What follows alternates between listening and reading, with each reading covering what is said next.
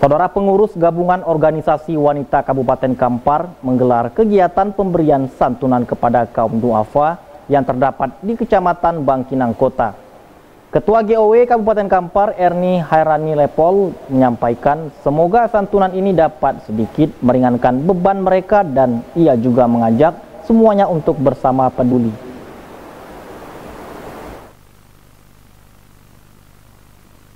Puluhan kaum duafa yang berada di Kecamatan Bangkinang Kota, Kabupaten Kampar, menghadiri kegiatan buka bersama dan sekaligus pemberian santunan bagi kaum duafa yang dilaksanakan pengurus gabungan organisasi wanita Kabupaten Kampar.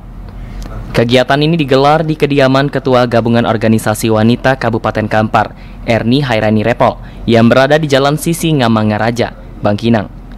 Erni Haireni Repol menyampaikan ucapan terima kasihnya atas sumbangan dari berbagai donatur dalam kegiatan ini. Kegiatan ini akan terus berlanjut ke depannya dengan harapan apa yang diperbuat oleh pengurus GOW Kampar dapat meringankan beban mereka.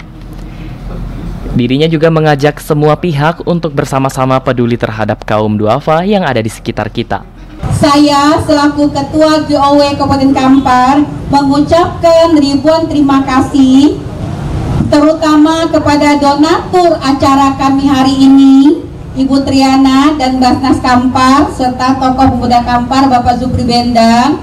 Yang kedua saya juga mengucapkan terima kasih kepada teman-teman saya ibu-ibu pengurus GOW Kabupaten Kampar yang udah bersedia menyukseskan acara kita hari ini sehingga kita bisa bertemu dalam waktu yang berbahagia ini dalam waktu yang mulia ini yakni bulan puasa Ramadan Selanjutnya kami juga mengucapkan terima kasih kepada ibu-ibu undangan yang sudah bersedia memenuhi undangan kami. Juga ada tadi perwakilan dari Persib Kodim. Terima kasih banyak.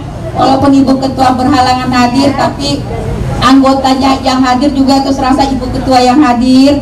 Ada dari PPUB, ada dari Bayangkari juga ya ibu cantik ya.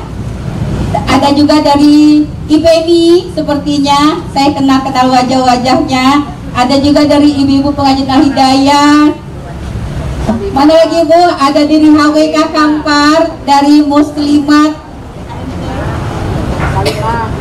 Dari Salima iya Bu Ruslina Ibu Ketua maaf lupa.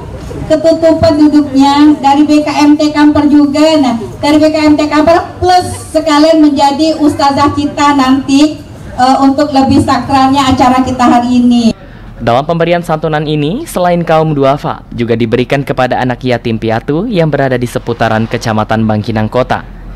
Penyerahan santunan diserahkan langsung oleh Ketua GOW Kabupaten Kampar dan Wakil Ketua DPRD Kampar, Repol, serta salah seorang tokoh wanita yang juga anak kandung mantan Ketua DPR RI, Akbar Tanjung. Dari Kabupaten Kampar, Anto Badai melaporkan.